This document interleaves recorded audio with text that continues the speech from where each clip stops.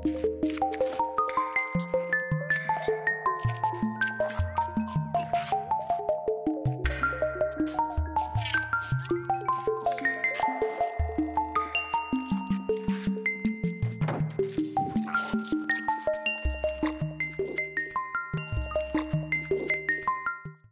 ինձ առաջարկվեց խոսել հոգևոր եւ մշակութային անվտանգության մասին, առաջին պահին տարակուսեցի, քանի որ ըստ իս հոգևորը եւ մշակույթը անհամատեղելի են անվտանգության պահանջի հետ։ Նկատի ունեմ, որ դրանք վտանգավոր բաներ են։ Բայց գործընկերներս, երբ որ իրենց ասեցի, բայց ոնց խոսեմ, խորհուրդ տվեցին հենց այդ մասին էլ խոսել, թե ինչու է որ դրանք վտանգավոր են եւ ինչու են դրանք անհամատեղելի։ Ուրեմն խնդիրը կներկայացնեմ այդ երկու երևույթների հակադրությունից ելնելով՝ մի կողմից հոգևորը եւ մշակույթը, մյուս կողմից անվտանգությունը։ Նախ միանգամից ասեմ, որ հոգևոր ասելով ես բոլորովին չեմ հասկանում այն տարածված պատկերացումը բարձր գաղափարներով տողորված լինելու մասին, որ հոգևորը դա է, հոգևորը ուրեմն այսպես վերևից է գալիս, իսկ ահա ուրեմն գործնականը հողեղեն է եւ հետեւաբար ուրեմն հոգևոր չի այդ հակադրությունը ինձ համար օտար է այստեղ էս որպես կանոն օգտագործում են հոգևոր եւ ոգեզուրկ Չէ, ռուսները շատ սիրում են ասել «դուխովնը» ի «бездуховնը»։ Բայց դրանով ստացվում է, որ ճորոբանը ճորոմաբանությունը հոգևոր է, իսկ գործնական արդյունավետ աշխատանքը ոգեզուրկ, որը երևի ընդունելի չի։ Այնիչ հակառակն է իրականում, ճորոմաբանությունը մերյալ է, քանի որ այն տափակ է եւ ծեծված է։ Դրա համար ես հիշում եմ, որ ժամանակին տեխնիկայի մի ներկայացում կար, երբ որ ուրեմն գիտեն, որ սատանան եկել է երկիր, երկար բարակ որ փնտրում են սատանան որպես ինչ է եկել, որպես գող, որպես ավազակ, որպես մարդասպան, որպես կոռուպցիոներ, եւ վերջում պարզվում է, որ սատանան եկել է որպես գիտելիք ընկերության դասախոս։ Այսինքն մարդ, որը բովանդակությունից կտրված, տափակ-տափակ բաներ է ասում։ Հայտնի է խորհրդային կարգախոսը, այդպիսի կարգախոս կար, առաջ ընկերներ դեպի կոմունիզմի պայծառ գալիքը, եւ այն ժամանակ մենք դա արհամարում էինք, բայց գիտեք, լոզունգը մնում է լոզունգ։ Եվ եթե մենք այսօր նույն ձևով ճոռոմաբանենք, ասելով առաջ ընկերներ դեպի ազգային պետության պայծառ գալիքը, դեպի լիբերալիզմի պայծառ գալիքը, դեպի, ես չգիտեմ, ասենք թե մուլտիկուլտուրալիզմի պայծառ գալիքը, միևնույն է, պայծառ գալիքը մնում է պայծառ գալիք։ Այսինքն լեզվի բնականության խնդիրը կա։ Մեկը առօրյա սովորական լեզու է, մեկը վերամբարձ լեզու է։ Այնպես որ դա չէ հոգևորը։ Հոգևորը ըստ իս իրական հոգևորը կենթանին է։ Այն ինչ որ կենթանի է եւ այն որ երբեք կանգ չի առնում։ Այդ հանգամանքի փայլուն ձևակերպումը տվել է Նովալիսը, որը այսպիսի մի նախադասություն ունի՝ ոգին իրականացնում է մշտական ինքնապացույց ոգին իրականացնում է մշտական ինքնապացույց։ Դա ինչ է նշանակում, որ դու ամեն վարքյան պետք է ինքդ քեզ ապացուցես։ Այսինքն, եթե մի վարքյան կանգ ես առնում, արդեն ոգի ես։ Եվ ահա այդ ինքը իրեն հաղթահարելու ունակության առումով իհարկե ոգու կատարյալ դրսևորումը Գյոթեի Ֆաուստն է որտեղ մենք գիտենք, որ Ֆաուստը մի կերպար է, որում Գյոթեն ցույց է տալի մեկին, որը երբեք կանգ չի առնում։ Անընդհատ առաջ է գնում նվաճելու համար նոր ինչ որ հորիզոններ։ Սա ես փորձել եմ արտահայտել իմ Չարենցի ժամանակը գրքում, որի ենթավեռնագիրն է պատմությունը որպես ինքնահաղթահարում։ Այսինքն Չարենցին էլ փորձել եմ այդպես պատկերել, որպես ուրեմն ինքն իրեն անընդհատ հաղթահարել ձգտող մեկը, եւ ինձ թվում է, որ Չարենցի մոտ փայլուն դրսևորվել է ահա այդ անհրաժարելիից հրաժարվելու ունակությունը։ Այսինքն, երբ որ մի բան քեզ համար շատ մոտ է, ինչ որ մի բան քեզ համար շատ հարազատ է, բայց երբ որ դու տեսնում ես, որ դա չի աշխատում, ստիպված ես նաև դա ջախջախել, հրաժարվել եւ առաջ անցնել։ Այս կապակցությամբ ուզում եմ երկու բանաստեղծություն հիշել Չարենցից, մեկը անկումների սարսափից բանաստեղծությունն է, որտեղ հետեւյալ տողերը կան, Ինչ է ուզում ինձանից կապույտ մորմոքը հրի, ինչ է ուզում քո հոգին հազարամյանայրի, եւ ինչու ես դու փռել իմ դեմ քո բույրը բոլոր, եւ իմ մորմոքը վառել թախիցներով ահավոր, եւ ինչու է իմ առաջ ելել աղջիկը քոհին, որ բաճկերով իր կանաչ ու հմայքով իր դեղին, ուզում եմ մեկ լինեմ ես եւ անսփոփ եւ անոք, որպես մեռել մի հրկես, որպես կորած մի մանուկ եւ չարցակած ոչ մի հետ անկումների սարսափից ես փախչում եմ ահա ետ, ես նահանջում եմ նորից։ Այսինքն սա հեղափոխականի ուրեմն ճիչ է, որը հասկանում է, որ այն ավանդական ազգային հոգսերը, որոնք միշտ իր վրա ծանրացած են եղել, այսօր իրեն խանգարում են։ Նա փորձում է դրանցից ազատվել, դրանք փոկել, առաջ գնալ եւ այս իմաստով ինքն իրեն հաղթահարել, հրաժարվել այն բաներից, որոնցից հրաժարվել չի լինի։ Բայց ահա այդ ձգտումը հրաժարվելու այստեղ դրսևորված է։ Եվ այն, որ հրաժարվել չի լինի, դրա ալտերնատիվը նույն այդ փողոցային պճրուի շարքից մեկ այլ բանավտեղծություն է, մեզ բոլորիս հայտնի Շամիրամը, որտեղ հետեւյալ տողերը կան։ Բայց կլինի մի գիշեր, ու հմայքով Նաիրյան կբարձրանա մշուշից մանկաժպիտ քոարան։ Նորից հոգի տանսփով կարոտանքով կվառվի, ու սարսափով միանոք նորից կելնես դու կռվի եւ որ เป զի չտրվի նախտաժետ քո հրին, ոտքի կելնե նրա հետ հազարամյա նայիրին, եւ դաշտերում նայիրի կպարտվի նորից նա կնահանջե զորքը յետ, երկիրը քեզ կմնա, նա կմեռնի որպես զոհ, բայց չես հաղթի դու նրան։ Դառն է խորուրդը սիրո, շամշոտաշուրտ շամիրը։ Այսինքն այստեղ հակառակն է տեղի ունենում։ Եկն այնտեղ ուզում էր ազգայինից հրաժարվել, նա տեսնում է, որ այդ ազգայինից հրաժարվել չի լինում, որովհետև ինչ որ մի պահ այդ պահը գալիս է եւ ուրեմն դու նորից ստիպված ես լինում գնալ կռվին, զոհվել, բայց միևնույն է քեզ չեն կարող հաղթել, որովհետեւ դու դրա տերն ես։ Այսինքն ահա այդ ինքնահաղթարման ճիքն է, որ ես Չարենցի մոտ շատ կարևոր եմ համարել, դա է, որ ես համարում եմ հոգեվորության դրսևորում, ելնելով այդ Նովալիսի վերը մեջ բերած այդ դրույթից, եւ այդ ինքնահաղթարման այդ ճիքը ես անվանել եմ պատմականություն։ Պատմականություն, ինչու, որովհետեւ իրական պատմությունը դա արտեֆակտների կൂട്ടակումը չի, այլ որակական առաջընթաց է։ Պատմությունը չի ինչի որ էս եղավ, հետո են եղավ, հետո են եղավ, հետո են եղավ, այլ պատմությունը այն է, որ դու որակդ փոխելով ճանապարհ ես անցնում։ Եվ իհարկե այդ առումով ինքնահաղթահարման նպատակը հանրային միջավայրի պատմության ընթացքի փոփոխությունն է։ Այսինքն եթե դու առաջ ես գնում, Եթե դու ընթացքի մեջ ես, ապա դու ոչ միայն ինքդ ես փոխվում, այլ դու փոխում ես նաև հանրային միջավայրը։ Այս ահա խորքային իմաստով ոգին, որի մասին մենք խոսում ենք, ոչ միայն պատմական է, այլև հասարակական։ Ոգին հասարակական երևույթ է, սա պետք է նկատի ունենալ։ Եվ ահա ասվածի լույսի ներքո հոգևոր անվտանգության մասին այդ հարցադրումը կասկածելի է թվում, որովհետև դա նույնն է, ինչ որ խոսես արկածախնդրության ավանտյուրայի անվտանգության մասին։ Ինքը արկածախնդրությունը անվտանգ լինել չի կարող։ Դրա համար է, որ ես ասում եմ մի քիչ հասկանալի չի թե ինչ պետք է խոսեմ։ Բայց դա եկե չի նշանակում, որ մենք չենք կարող խոսել հոգևոր անվտանգության մասին, եթե խնդիրը այլ կերպ ներկայացնենք։ Բայց միջև խնդիրը այլ կերպ ներկայացնելը ես մի քանի խոսք ասեմ մշակույթի վերաբերյալ, որտեղ մենք խոսում ենք հոգևոր եւ մշակութային անվտանգության մասին։ Մշակույթը ամենապարզ ձևով եթե մոտենանք, մշակույթը այն է, ինչ մշակված է ունենք այդ հայտնի զույգը, չէ, բնություն, մշակույթ։ Բնությունը բնականն է, մշակույթը մշակված է։ Մյուս կողմից մշակույթի մասին կա այլ պատկերացում, որը Օսվալդ Շպենգլերին է պատկանում, նա առաջ է բերել մեկ այլ հակադրություն՝ կուլտուրա, ցիվիլիզացիա։ Կուլտուրա, ցիվիլիզացիա, որը մենք սովորաբար թարգմանում ենք մշակույթ եւ քաղաքակրթություն ինչ նկատի ունի Շպենգլերը, Շպենգլերը յուրահատկությունը այն է Շպենգլերի ասածի, որ նա կուլտուրայի տակ, մշակույթի տակ հասկանում է այն ինչ որ կենթանի է, այն ինչ որ առաջ է գնում, այն ինչ որ զարգանում է, իր մեջ պարունակում է իր զարգացման կորիզը,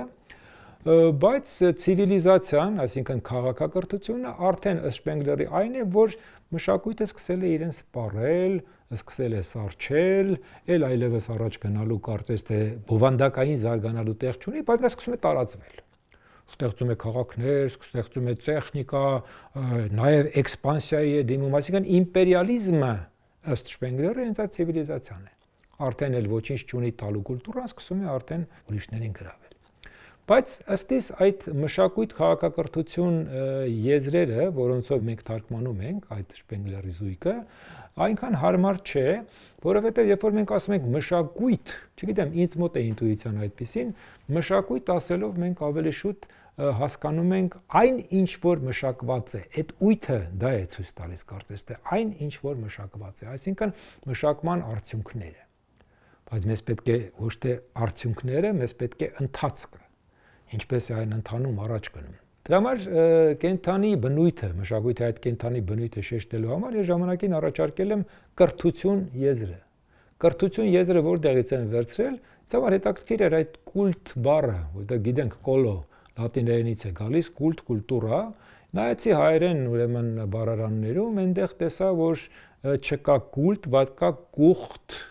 եւ կա կխթել։ Ինչ է նշանակում կխթել նշանակում է, որ երբ որ դուք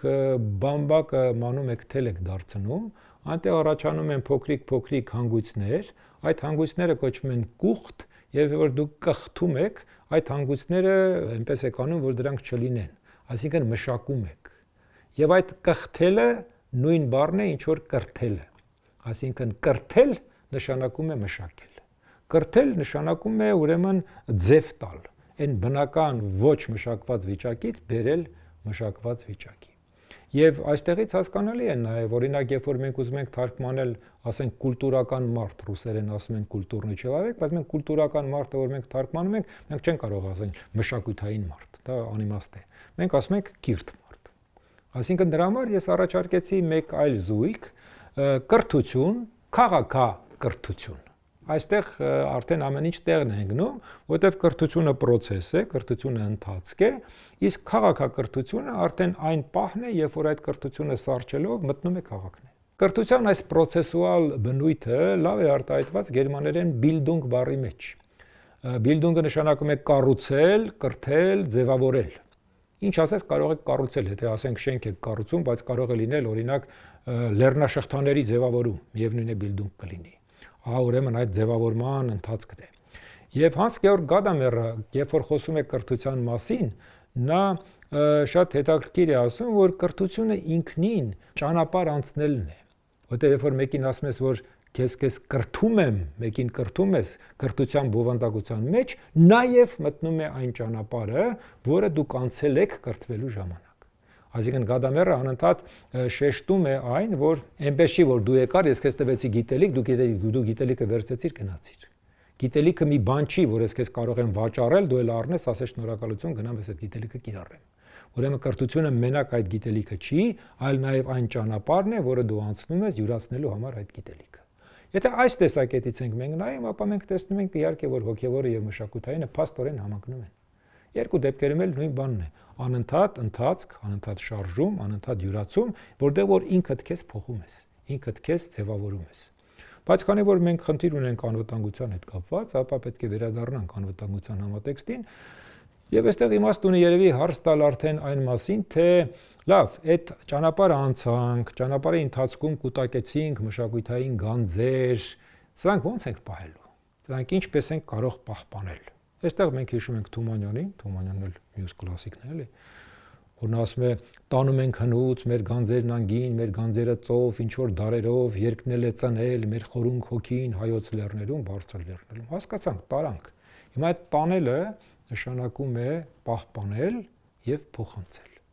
Բայց ինչպես ենք մենք դա իրականացնում։ Ինչպես ենք մենք դա պահպանում, ինչպես ենք մենք դա փոխանցում։ Հասկանալի է, որ խոսքը այդ մշակույթի նյութական կրողների պահպանման մասին չէ միայն։ Հտին այն չէ, որ եթե ասենք մենք հնուց ստացել ենք գրքեր, այդ գրքերը պետք է պահենք գրադարաններում, որ չփչանան, ասենք նկարները չփչանան, այդ հասկանալի բաներ են մագաղացագրքեր են, եկեղեցական զարդանշաններ են, դուրն են հայտնի, որը փրկվել է ժամանակին, գիտենք բոլորս։ Այստեղ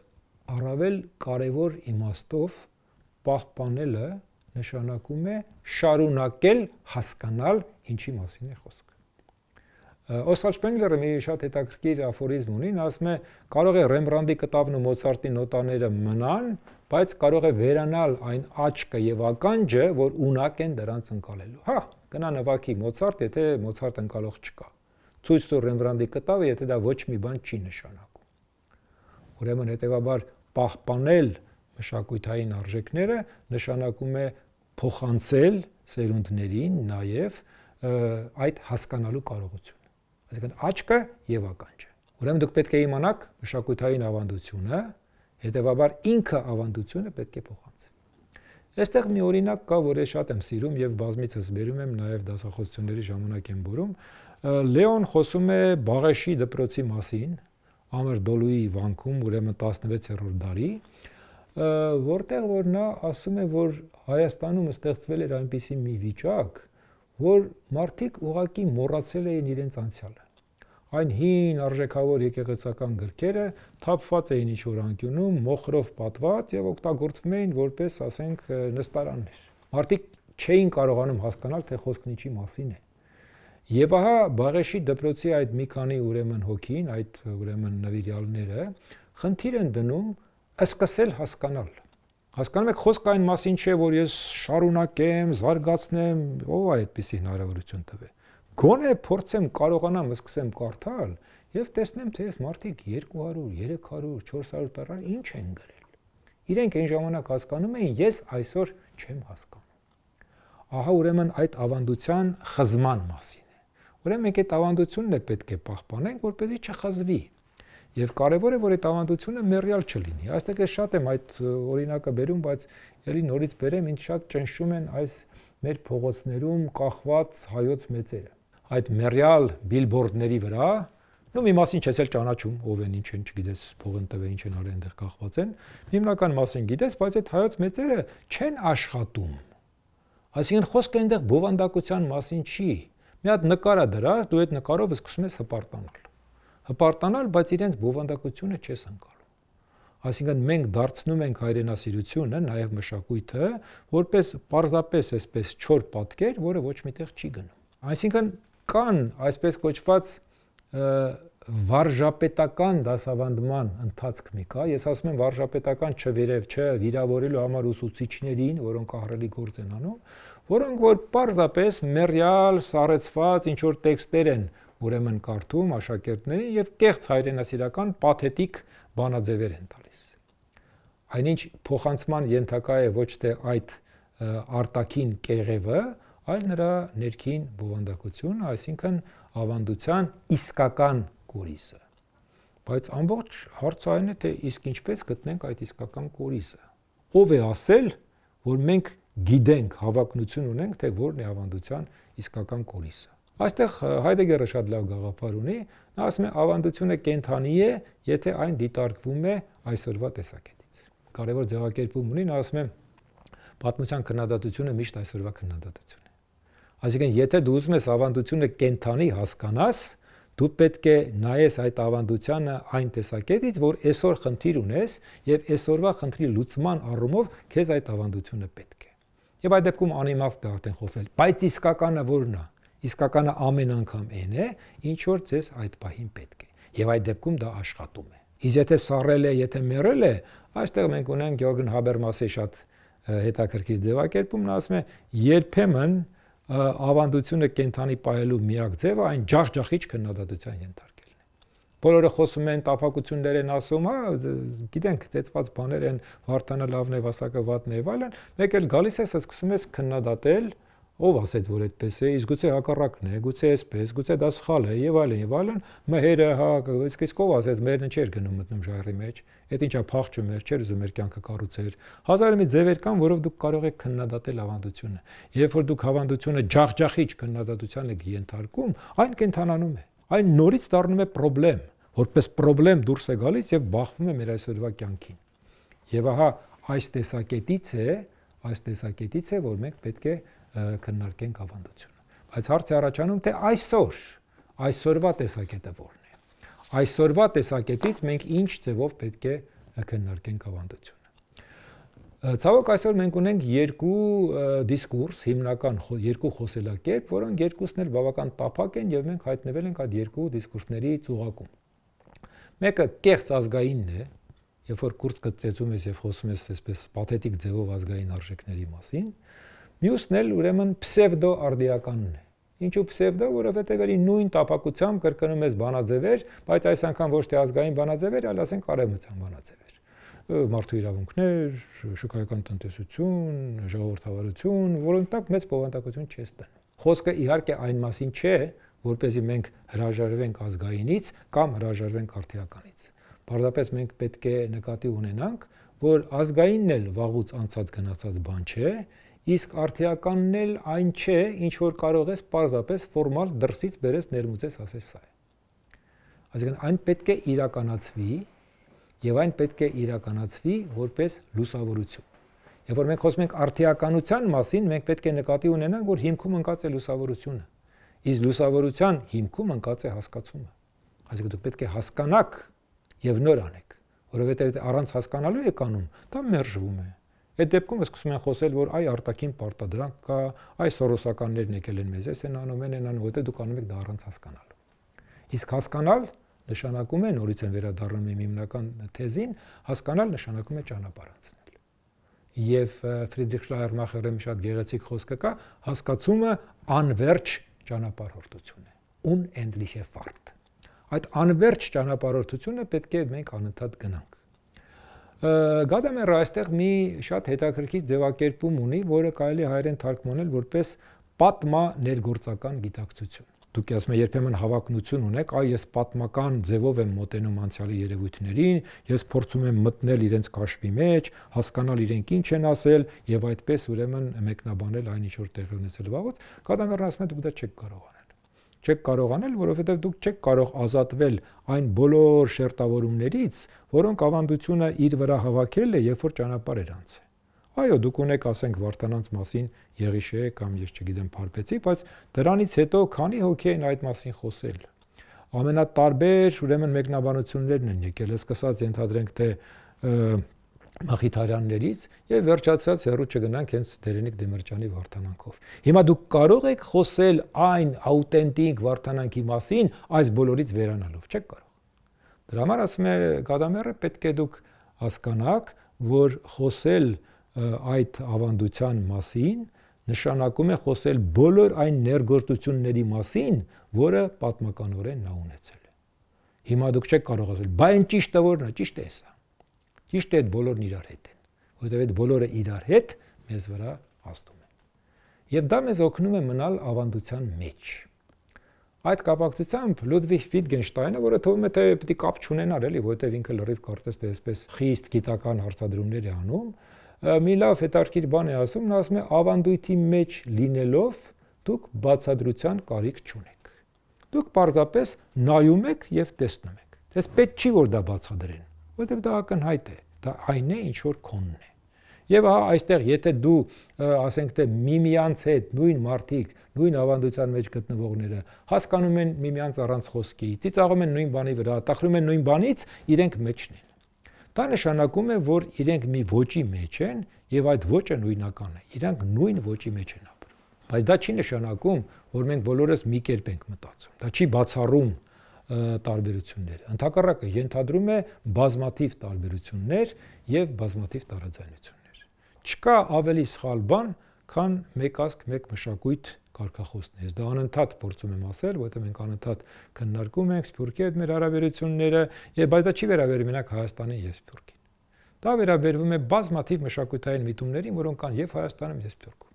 Մենք չենք կարող ասել, որ մենք քանի որ հայեր ենք, պետք է լինենք միասնական, նույն ձևով պետք է մտածենք։ Խնդիրը որևէ ձևով եւ որևէ իմաստով ունիֆիկացումը չի։ Դա կեղծ գաղափար է, դա հենց այն մերյալն է, մերյալն է, որը ոչ թե այսպես ասած հոգեվոր է, այլ հակահոգեվոր իրական ճանապարհը երկխոսությունն է։ Իսկ երկխոսությունը